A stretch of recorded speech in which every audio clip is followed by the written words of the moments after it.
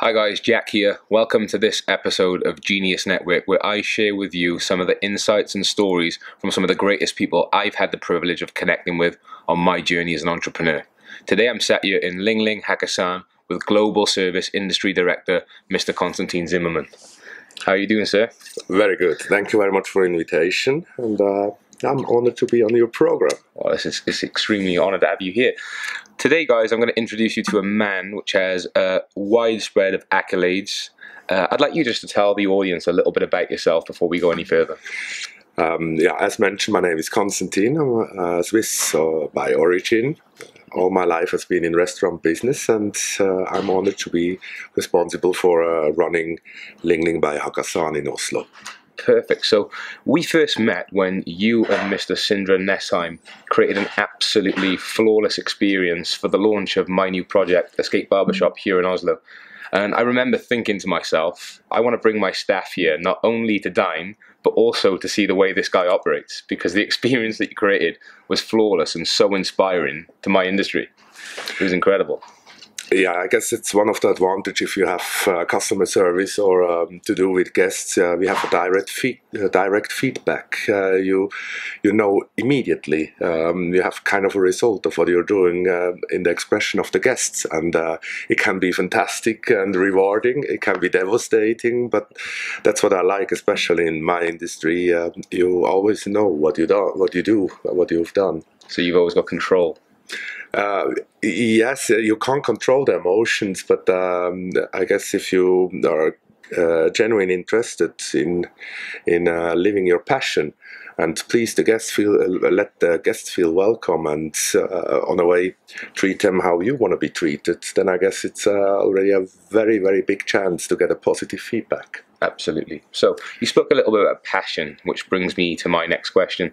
So you started off in switzerland how old was you when you first entered the industry? Um, I guess I have to go back to day zero. Uh, I mean, okay. I'm uh, born and raised in a restaurant. My wow. parents had a restaurant, and my first memories actually are uh, restaurant memories. And then uh, I started the professional career um, by the age of 15 when I started my apprenticeship as a waiter in a in a very fine uh, palace hotel, and then I continue. Um, trained chef, uh, classic American bar, and the administrative side. And so I always try to keep uh, my knowledge uh, updated. So the first thing that you saw when you grew up was the restaurant industry. uh, yeah, I mean, um, if if I uh, try to remember my first memory ever, it was. Uh, uh, I was maybe two, maybe three years old, uh, wow. and then I was uh, sitting on the arm of my mother, and I remember you know, it was in the late seventies, and then the chefs passed by with the big silver platters with the foie gras terrine with the truffles, and I remember how they passed by and entering into the banquet room. But what I remember the most was the expression of the guests the by the time that the reaction yeah, and nice. this wow and i still hear it and i guess this was uh, one of the major um, inspirations who made me get into this uh, industry so you started off in a palace restaurant where they serve foie gras. yeah uh, how on earth does the bar get any higher than that? Because I started my apprenticeship in smaller salons. My mum taught me, then I progressed to the bigger salons how do you set the bar higher than what you've already seen? Because it's nice to have external motivation, but if the bar's that high, what, what, what, what do you take inspiration from? no, I guess the advantage if, um, and I was lucky, and I always was lucky to work in uh, very nice places where you have uh, top yeah. quality, top level.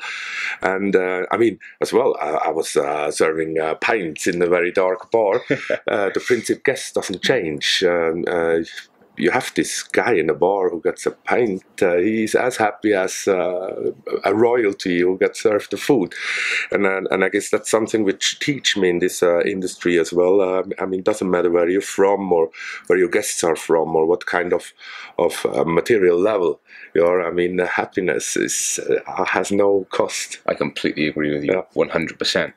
So we spoke a little bit about the dark side of the places that you work, like obviously when you first started, then you got up the level to the palaces. You're from Switzerland, which is known and renowned for absolute luxury. What's the competition like? Uh, I mean, the advantage uh, to to uh, grow up in Switzerland, uh, especially when it comes to the level of education, it's uh, very precisely. It's very based on discipline, and it's like a clockwork. Absolutely. And uh, I mean, you know, Swiss Swiss watches. I mean, they are precise, and I guess that's something teaches you and I mean, no one had really the choice uh, where to be born, and I'm I'm blessed and I'm uh, lucky to have had this uh, opportunity to have this this level of education. And I guess uh, after a certain point, it's very nice to have it in the start, but at, after a certain point, you're old enough, and then it's regardless where you're from, uh, you have to make uh, your own decisions and you have to make your own thoughts about it. Absolutely. So, from an educational perspective, did you start off first as a bartender or a chef or vice versa? Because I know you're a qualified chef, right? Yes, I'm a classically trained chef, but I started uh, my career as an apprentice in service, so uh, front of house. And then um, I was interested to go to cover this lack of in, uh, of uh, knowledge uh, by doing the apprenticeship of a chef, a classic. Uh, do, do you know the funny thing about that is the fact that not only do you see what is like, like not only do you serve to your clients, but you actually build in and seeing what's being serving. So do you get slightly like like if, if a chef sends something out which you're about to take out because you're a qualified chef, you're looking at it like yeah, not sure about this one. uh, yeah, I mean, um, not to undermine the, the authorities, but uh, it had happened that uh, during service I uh, uh, sent the chef out of the kitchen, took okay. an apron, and made the sauce myself. I just had wow. to, I, I, tell you, I show you how, how it's done. I mean, it was a bit uh, in younger years when I was a bit more uh, pushy, but it has to be done because it was not the right quality, and um, I was always working on on a, on a restaurant level where uh, you don't have that much room for mistakes.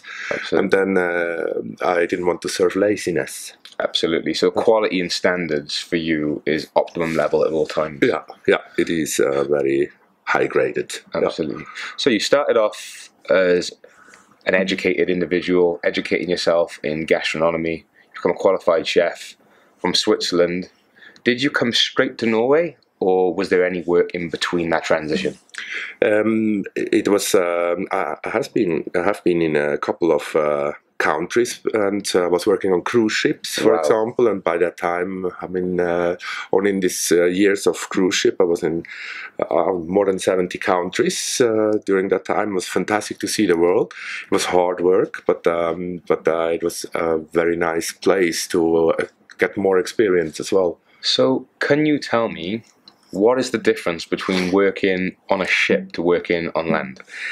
Um, literally, you're, you're sitting in the same boat. I mean, if you run out of coffee cups, you can't go to the next shop to buy some coffee cups. So you you you have to organize yourself, and um, and one of the most important points you have your guests maybe 10 days two weeks during uh, every during day. A, uh, every day during a cruise and then to uh, to uh, surprise them every day. So it's quite a challenge. So, so what do you do to wow someone every day? Because i've had hands-on experience of you wowing me the first place i send people when they come to oslo is to come and see Konstantin uh-huh. because it's an actual show you know it's an experience and an actual production what you put together and you blow my mind but I come here maybe once every four weeks. Yeah. But like, so how how on earth do you give someone the wow factor and deliver it to perfection every single day? What changes? Um, I mean, uh, first you you got kind of a connection with the with the guests, and that's what I meant with the direct feedback. And then um, you have this interaction, but the devil is in the details. For example, I had a guest. I just uh, by passing by in the afternoon, I heard that she likes tiramisu. She was talking to her husband, and in the evening she got her tiramisu out of nothing, and she just wow, how did you know? And I just accidentally heard it. But that's this uh, small touch you can't That's you have to do it. And uh, this is the small details which are uh, giving as well this surprising effect to the guest. So you never actually switch off from work when you're on the cruise ships? You're, you're always actively working, whether you're passing by, you have to be alert, you have to adapt. Like you said, the pressures involved in if you run out of coffee cups. You know what I mean? yeah, it is. It is. I mean, it started already uh, the first day when the new the, the new cruise arrives with the guests um, uh, at around one o'clock uh, in the afternoon. We received the the photographs from yeah. every guest. Uh, they have been made during the lifeboat drill, and then we had to learn all, all the names until five o'clock. How many uh, guests? Uh, we had around two hundred ten guests on each. So you had to remember two hundred names. Yeah. And was there any education provided by the cruise company to help you learn this this, this system of psychology and how you how you learn all of these names? Um, uh, of course, uh, we, we, made some tests uh, just to test your uh, knowledge, and uh, just uh, it forces you a bit to, to sit down. I mean, at the end, it it limits to those 40, 50 guests you have in your in your um, station. But then um, it is very good to train the guests. And just imagine i mean whenever you pass a guest in uh, the corridor you address him by name. And already that gives the, the guest such a nice feeling of being welcome being recognized.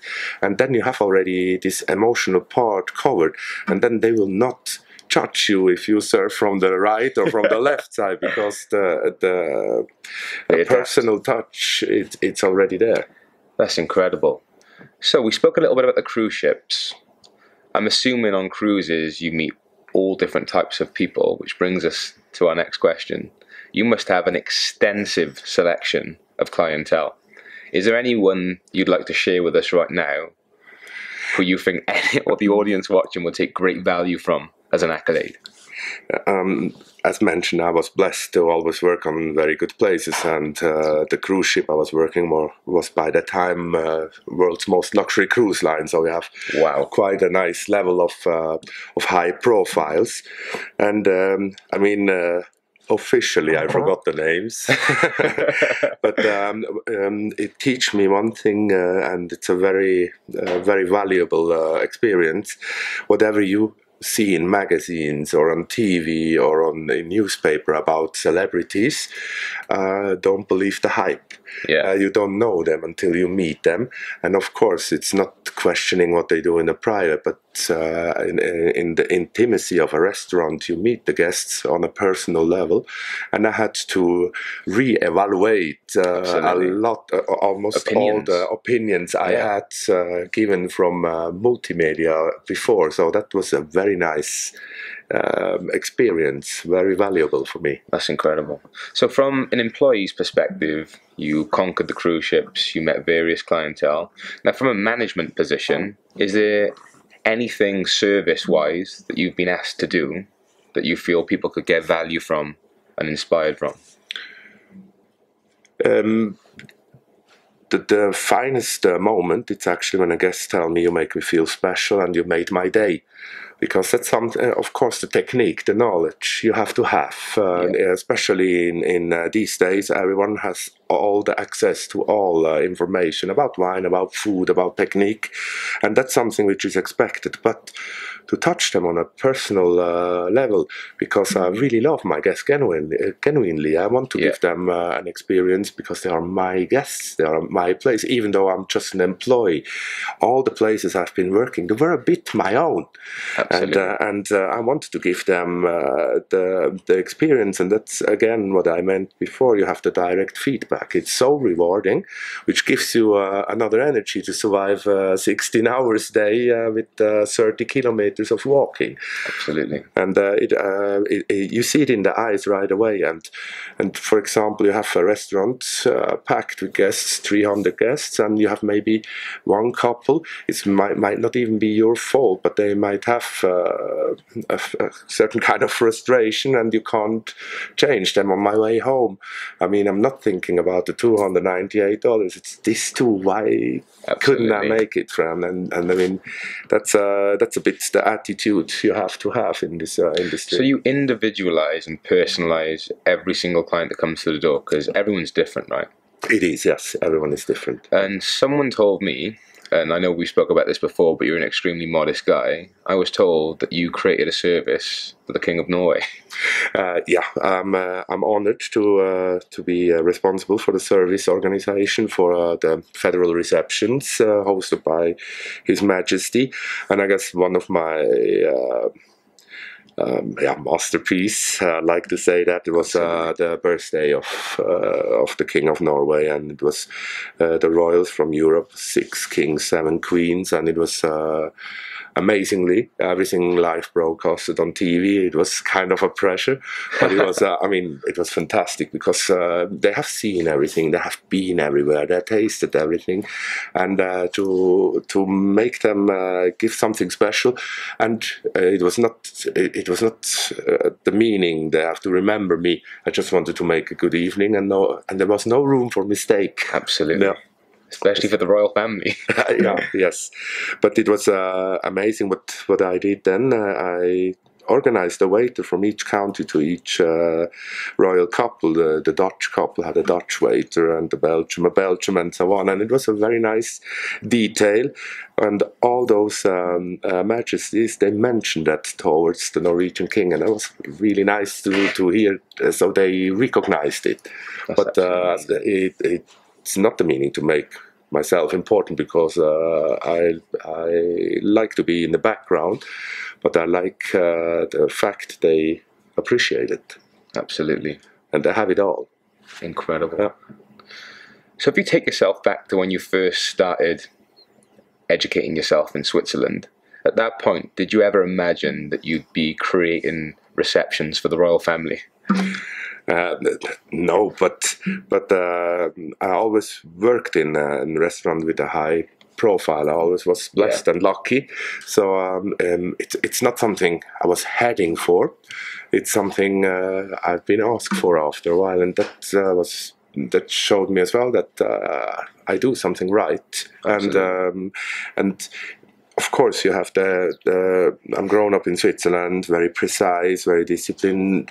Uh, things are which are very important, especially for this kind of reception. But but as mentioned, uh, I mean, of course, the, the royal family is the royal family, but uh, every guest has the same um, personal reaction on uh, being happy or not. Absolutely. Yeah. That's that's a, an absolutely incredible factor to bring to the mm. table as well the individuality of people, regardless of which way of life they're from. Yeah. Customer is a customer, and their happiness is their happiness. Exactly. So, in regards to the restaurant management side of things and the management position that you've had, a lot of people see what I call the Konstantin show, where the production of everything is at optimum optimum level the customer service is there. But what about the stuff that people don't see? The stuff that goes on behind the scenes, the management, the administration, the accountancy.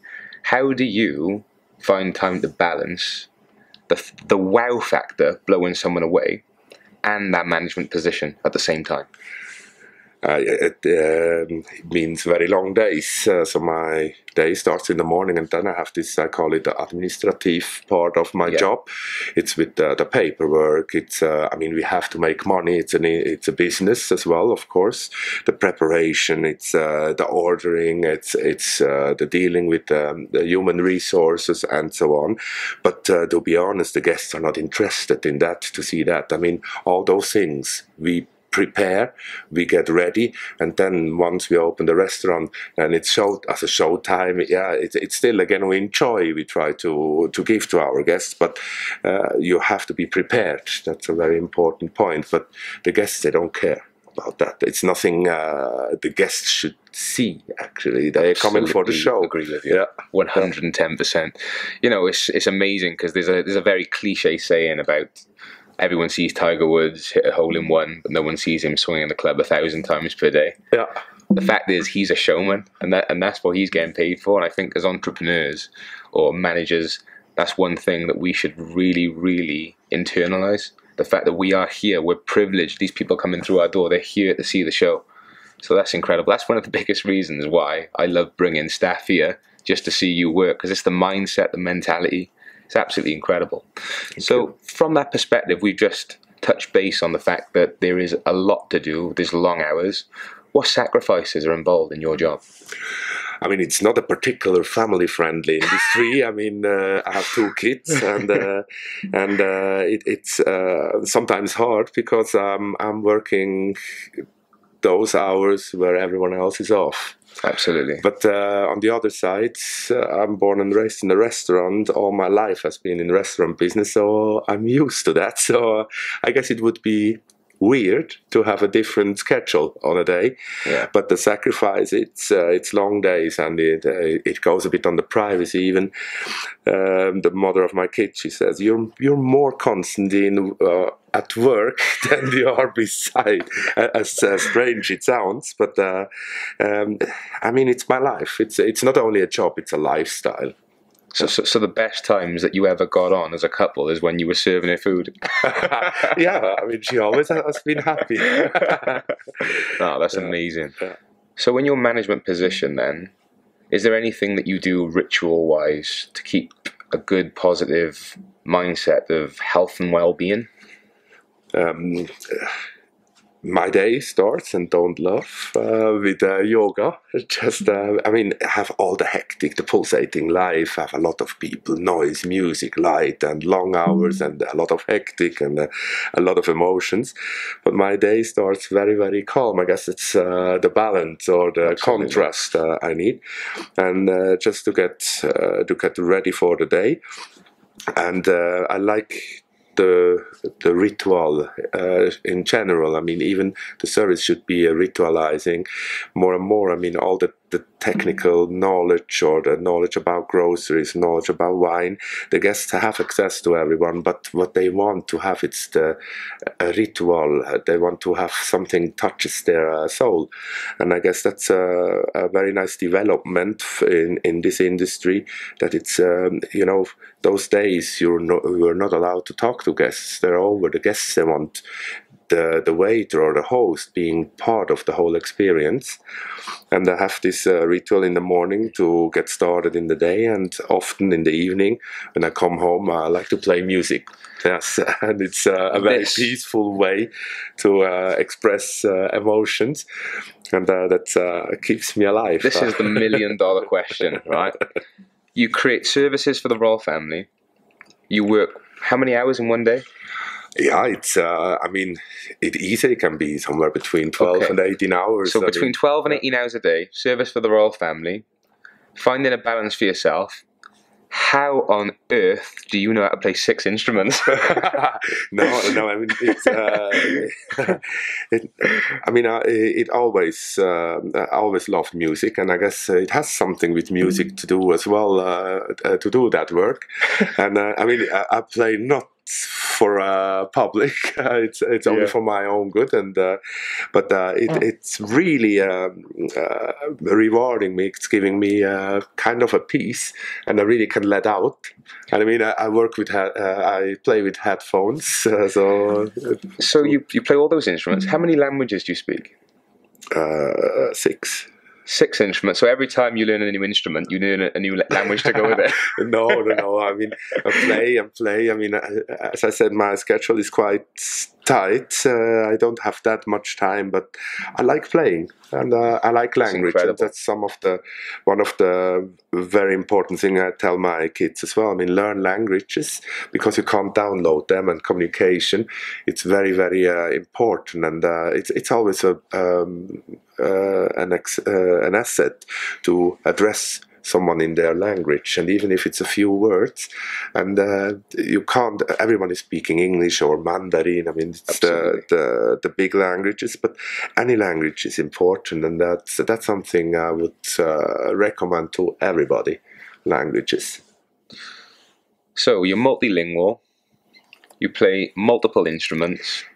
Management positions service for the king I want to ask you what your future goals are but does it get any higher than that? Uh, yeah, you always can uh, get any higher. It's always a new, a new markets. It's always new information. I guess uh, there's several things I could imagine to do for the time being, it's um, Ling Ling. It's quite a fresh project, and uh, um, on the way, I'm not finished with Ling Ling yet. I have a lot of things uh, I want to uh, realize, uh, but um, I mean, it, it progress is always there. I mean, uh, in terms of knowledge, in terms of suddenly you have an event. I mean, you mentioned the, the Royal Banquet. Yeah, that's one thing. But on the other side, it, it's very fun to make a catering for a festival, 50,000 people. And uh, it's so many things in this industry which yeah. are, from a logistic organizing side, very interesting